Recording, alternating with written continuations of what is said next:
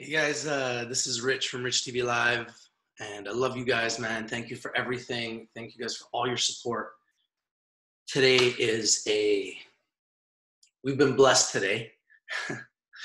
today we are going to be doing our first site tour. I'm very excited about it, and um, yeah, it's going to be with Zenabis, and you don't know them yet, probably they are operating under the symbol BVO. Pretty excited. Super excited. And I'm going to be bringing you guys videos all day. I'm pretty excited. The first time Rich TV Live has ever been at a licensed LP. So this is a really big breakthrough, you know, from doing videos to actually going into licensed companies with Health Canada. It is a game changer. If you want to work with Rich TV Live, we are becoming a vertically integrated cannabis media consultancy company. We're going to be providing all cannabis vertically integrated services from CBDs to data. If you're a public company or private company, you need data on your cannabis, we can do that for you. You need co-packaging, we can get you co-packaging. So there's more and more partnerships that are being formulated as we speak. This is a big breakthrough for us. It's a very big breakthrough. So I'm pretty excited. Now, a lot of people have been like complaining that the market's been down. A lot of people have been getting hurt from the market going down. I want everyone to really look back at all the stocks. Look at Aurora Cannabis, look at Canopy Growth, look at Aphria. Look at those three. Look at Tilray, those four. And just look at CWEB, CWEB, those five. And just go back to their charts and look at all of them from the beginning and ask yourself if they're down. So in reality, all of these stocks, these stocks, all of these stocks are stuck in a situation where they went up on hype, hype, hype, hype, hype, hype, and they were up. So they really were up. It's not just hype, they were up thousands of percent. Okay? Hundreds of percent, thousands of percent in some cases.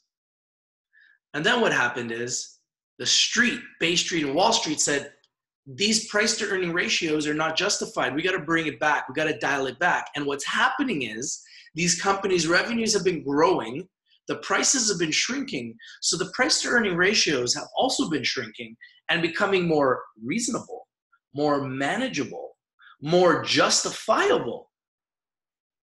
So, in my opinion, what's going to happen is over the next couple, two, three, couple months right now, we're going to see situations where we're going to see sneak attacks stocks are going to start to explode. Okay. Now is the key to identify the companies that have the most revenue, the most potential revenue, the best management team, the best product, selling and creating and manufacturing, distributing the product for the least amount of money. This is what's going to now determine the success stories from the failures. And there's a lot of companies out there like HIP, Auxly, so HIP, XLY, and Vivo, for example, those three that have tons of money in the bank, have revenue, and their revenue is going to get way bigger, but their stocks have been decimated. So, as an investor, what do you do? I think the key right now is we need to sit on the sidelines and be very patient. If you have stock like I do, I'm going to just be waiting. If I see a stock that I'm in explode and I get 10% or more returns, I'll take it. Because right now we're in a very risky, volatile marketplace. When the next bull run comes and things start to explode, that will be the time to really be investing aggressively. Right now is the time to maybe stay in cash or maybe if you're in a position, think about lowering your cost. Maybe buy a little bit more to lower price, lower your cost if you're down.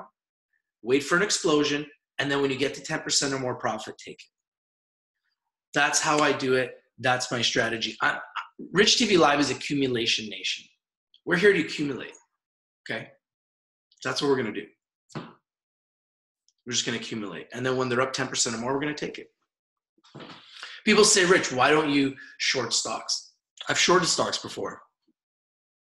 The thing I don't like about shorting stocks is that if you short a stock and then the stock goes up on you, the broker will give you a margin call. And if the broker gives you a margin call and it goes up on you over like 20%, 30%, you automatically will lose 30% in your account. You will not have the chance to wait. And this has happened to me before. And then what happens is the next day the stock goes up and then you still lost 30%. I don't like that. The other issue with shorting is that if the stock runs against me, I can't just chill. See, like if I buy a stock and it goes down, I can just chill. I can wait. I can wait three months, six months, a year if I choose. And eventually, if the company keeps growing and starts showing better revenues, guess what it's going to do? It's going to go up. And once you get to a point where you're in the green and you're 10% or more profit, you should always have your finger ready on the trigger, ready to exit that trade. Take the money and run. This is what I've been saying for two years. So it's kind of funny and comical when people are like, oh man, Aurora's down. I'm like, man, check the statistics. I was talking about Aurora when it was at $1.95 in Canada. It's true. Take a look at the videos. 2017. Now Aurora's at $7 and everybody's like, oh my God, Aurora's killing me. You were wrong. Like I was wrong? I was like, I was talking about Aurora when it was at two bucks. It went to 16. How was I wrong? I sold at 13. I told everybody I did. And it's at seven. So I think I was right. so I think, and I've told people like, oh, is Aurora a buy? Yeah, I think anything under $8 is a buy for me. Am I buying it right now? No, because it could go lower. Has a lot of stock.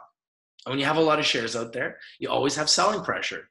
People are going to panic and they're going to sell might go down to five bucks. People say, why are you going to say it's going to go to five bucks if you say it's one of your number one picks? And they're like, well, it is the one of the largest, it is the largest cannabis company in the world in 21 countries. They're going to be generating billions in revenue. Add it all up, it's a big monster company. So yeah, they're going to go up, but they're going to go down too. It's a very vol- volatile marketplace. That's what the industry does. It goes up and down. So that's what makes it so fascinating. That's what makes it so intriguing. You can make money up, you can make money down. You can short these stocks. You can short any stock over $3 on the senior exchange right in your brokerage account, right in your trading account with TD Bank, CIBC, Bank of America. You can uh, you can yeah you can short any stock over three dollars and the way you do it is you go and you sell it first so let's say you want to short aurora you go and you sell it first at 760 wherever it's at and then you buy it back at five dollars if you think it's going to go to five bucks. That's your short. But what happens if it goes to ten? Oh yeah, you get a margin call. You lose thirty percent. Yeah. So that's what I mean. You know what I mean? You really want to do that? Be careful. What happens if it goes to twenty bucks? Oh yeah, now you're screwed. So this is what I mean. This is why I don't like to short. People are like, oh, why don't you short? Things are going down. Why don't you short? I'm like, ah, what happens when they turn around? If I'm longing a stock, it goes down, I can just wait. I can buy more, lower my cost, wait for an explosion, get out. There's a lot of different trading strategies that you can utilize if you're down. But when you short a stock, when it runs on you, you get your hand forced. It forces your hand. So this is why I don't like to short. Doesn't mean I won't short in the future. Doesn't mean I haven't shorted in the past. Maybe in the future I will. I think had I identified this crash better. Like I knew, like people were telling me it was coming, but I didn't want to believe it based on what happened last year. I thought we would have just continued this momentum.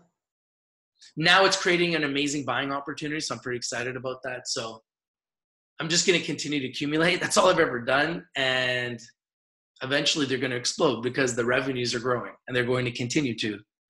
And these shortages, eventually, Health Canada will figure it out, and all the other countries will get on board and Aurora will be in like 50 countries and the revenue will be like 100 million a quarter and then it'll be like 200 million a quarter and then it'll be like 300 million a quarter it's to skyrocket so Now remember, Rich TV Live is strictly for education and entertainment purposes. I'm not a licensed advisor. Do your due diligence, do your research before you invest in anything that I talk about here on Rich TV Live.